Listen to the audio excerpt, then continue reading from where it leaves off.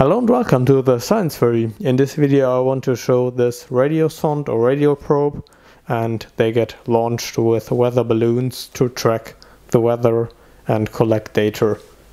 And I found one, you can track them online, there are online trackers and you can follow them and see where they land and pick them up, in my case on a field and I picked this up and took it with me. You can just take it with you.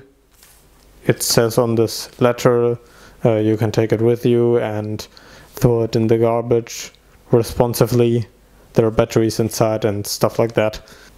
Also, thanks for 100 subscribers. I hope this channel will grow more and I hope I will make more videos in the future. And yeah, thanks very much for this. I will probably make more videos like talking, normal talking like this and not fancy editing. But thanks very much for 100 subscribers. So this tiny thing here is actually the whole transmitter. Here is the antenna and for this size it it's transmitting like I don't know probably 100 kilometers maybe a bit less. But it it transmits pretty far and this is the whole transmitter. And it consists of a single transmitter IC you can program this chip uh, to transmit on any frequency and several modulation modes but you have to program it uh, somehow.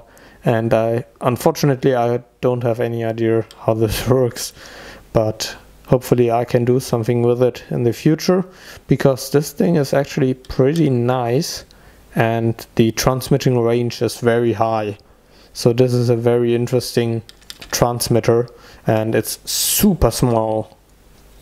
So this is a pressure sensor I think and you can remove this and it gets connected to this connector and yeah.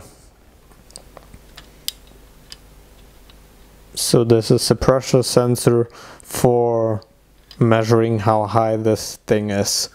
And then we have some other electronics. I haven't checked what this is. This is the GPS receiver. And yeah it's there to track the radio probe.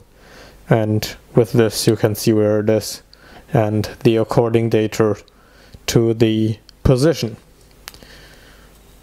We have some sensors here on this carved out thing and I think that are temperature sensors, internal temperature sensors and if we turn it around we have some more electronics down here down here we have a processor I think and all the data gets processed digitally and then gets sent to the transmitter to this tiny thing and then it gets transmitted out of there and then it gets received from the people launching it from the weather agency or whatever.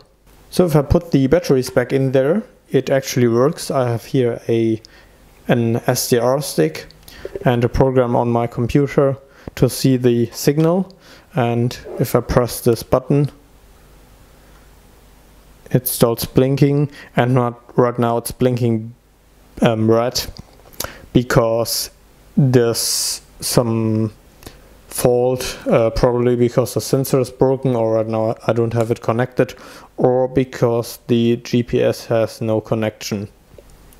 But the sensor is not connected so it may be this. And if I move this up here, you can see the signal on the screen and this is the signal from the radio sonde and yeah this is pretty strong you can receive it from a pretty long distance especially if it's up in the air and not uh, in some area where it gets absorbed from buildings or trees or whatever. So yeah, it's interesting. This is still working. I can switch it off again and then it stops.